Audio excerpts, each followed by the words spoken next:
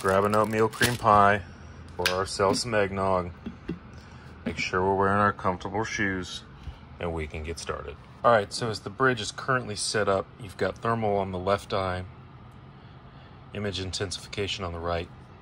You're using the dovetails on both sides with the OSS shoe set. The shoe's are adjustable. Just take your three millimeter Allen wrench, loosen this set screw. It's one tiny little, I think it's a one half millimeter set screw that holds your setting in place. And show that right there. It's not uh, 0.5 millimeters, it's 0.05 inches. You can use this Allen key. This example of one from Crimson Trace as well. But that just goes in here. Loosen this set screw. And then you can slide this shoe back and forth and even off. So you get it to where you want it.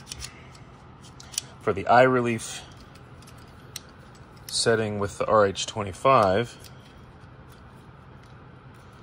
you want it about there, about as honestly about as far as you can get it.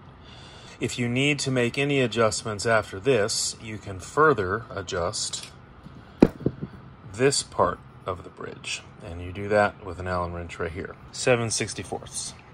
So this setting, or this adjustment, has got holes in it.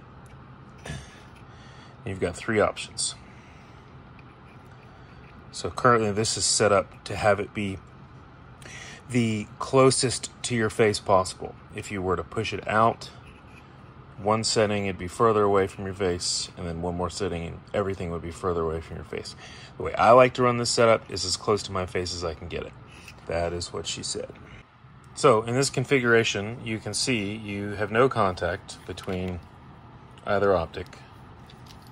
They don't touch each other, even with this other shoe on here. And you can fully articulate this one and this one, no problem. If you want to switch them,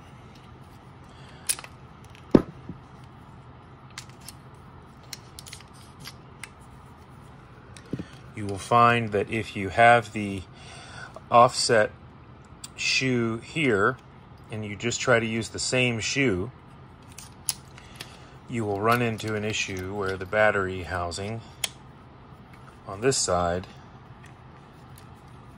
they're they're real they're touching now you could adjust this um, ocular collar slightly that's actually probably the objective collar you could adjust the objective collar so that it was turned slightly but what I've chosen to do just to make life simple is to put the other shoe on the other side now, you do run into an offset issue here. I don't run it this way very often, but you can certainly do it. So that's that's how it's currently set up there. So I'm going to show you another method here. You can also take this shoe off and rotate this shoe in this orientation. And you get a little bit of a better setup on both the left eye and the right eye.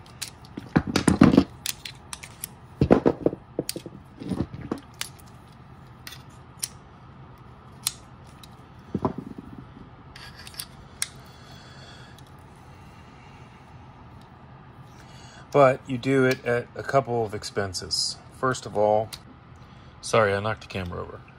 So what I was trying to explain was that you, if you want to set it up this way, you're doing it at the expense of a couple of different things. First of all, you are partially blocking this sensor.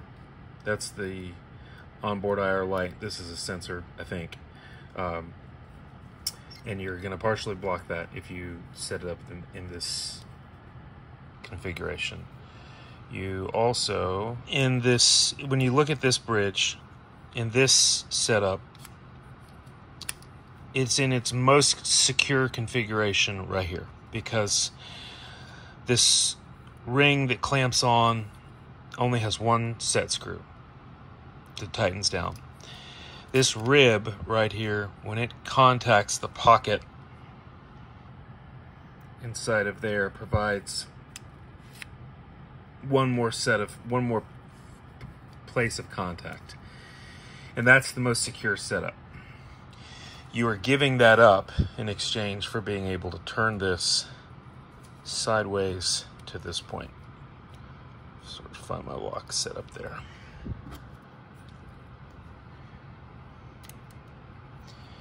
So, like everything, you got to give a little to get a little. But that would go here, this would go there, and then you're off to the races. So then also, of course, uh, dual thermals. Setup is like this. Same on the back. Same on the top. They're close. They don't actually touch if you were like running well this is with this interpupillary distance setup so it, you may find that you need to change your interpupillary distance to something slightly different. I have a i think i have like a six and seven eighths uh, circumference head pretty normal size american white boy head. This is a i think this is a medium large helmet. Let's see if i can zoom in. Not ballistic because i'm a loser. My interpupillary distance is normal. So uh, with my setup, this works fine, um, both with night vision on and with this on. But the key, the real key to be able to running these two together at the same time is this bridge and these shoes. And it's really this shoe. It's the ability to scoot this shoe back. Um, stay tuned. I am attempting to have a 3D printed option as an alternative available um, that would push this backwards so that it should line up with where a PVS 14 on a dovetail would sit, but uh, definitely still in the T&E phase. I don't even have a production sample yet. So um, for now, this is the option, which works well. It's just impossible to find for you. Sorry, last thing. A million people have been asking for this also. So, okay. All right, here's our guy. So, G24. I'm sorry, this is G22. I chose the G22 because it has extended travel. Honestly, totally unnecessary. I think the G24 now even has extended travel built into it, making it further unnecessary to find a G22 Maybe just like things that are tan. There we go. Okay, so let's see if I can move him down. Up, locks into place there. You can bring it up further. It does not lock though. It will fall back down. But it is locked into this place until you push this tab. Then push down. Lock that one. Lock this one. No problem. Stows like this. Then you can further stow it back against there. Bring this out stow it here, bring that out there. Back down. Your adjustments on here, fore and aft, back and forth. This controls your height position, sort of the angle. Sort of cantilevers up and down this way. And then this is just your straight vertical up and down.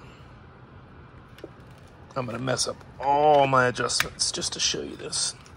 That's how much I love you up and down, up and down. That's how you get there. Uh, the way I do tethering doesn't really matter, but throw one on here. And on the PVS 14, it's right here. Like so. So that's your setup. Back, down.